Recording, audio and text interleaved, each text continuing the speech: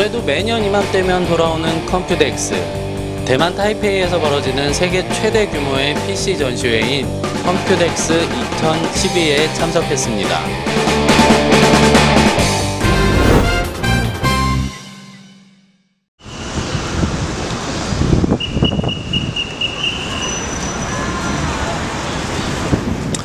아, 아, 여기는 난강, 난강홀입니다. 앞서 TICC 사물의 모습을 전해드렸는데요. 이번엔 난강홀로 이동했습니다. Computex 전시장 중 가장 크기도 하고 주요 업체들이 있는 곳이죠. 유독 눈에 띄는 것이 최근 국내에서도 많은 제품이 쏟아져 나오고 있는 캐릭터 USB 메모리입니다. 유명 캐릭터가 아닌 경우가 더 많긴 합니다. 아이디어 상품이라고나 할까요? 중간중간 USB 허브도 있고 워낙에 많아서 촬영하기도 벅찼는데요.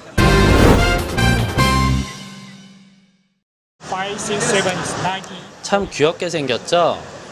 피규어를 모으는 친구들에게 선물하기 적당할 것 같습니다. 다음으로 목걸이입니다. 예전에 아이리버에서 목에 거는 mp3 플레이어로 돌풍을 일으킨 적이 있는데요. 이것도 혹시? 그렇진 않겠죠.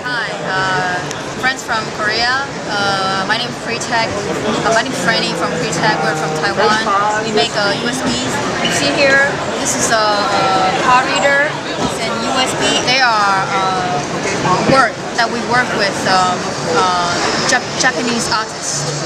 They are called Deva Robots. And this is the. So very cute. They are very popular in Taiwan and Hong Kong and uh, Singapore and also in Japan. Okay. And this is a, you, you, a toy, but it's actually a USB. You just plug its head from, uh, separate from the body, and you can use.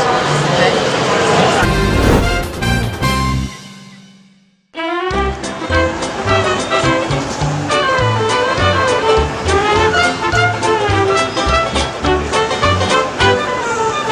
이 동물 디자인을 한 USB 메모리는 제가 봐도 귀엽네요.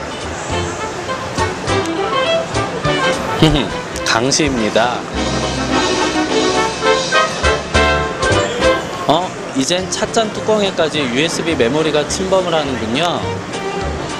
이러다가 몇 년 후에는 언제 어디서든 주변에 손을 뻗기만 하면 USB 메모리가 하나쯤 손에 잡힐 것만 같습니다.